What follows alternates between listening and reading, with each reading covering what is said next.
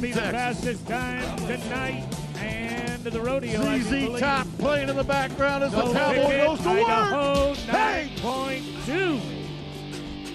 There goes your not sure lead. If it all stays tied, oh. that's going to be the Davis had one fastest time tonight. Trying to. And the rodeo, I do believe.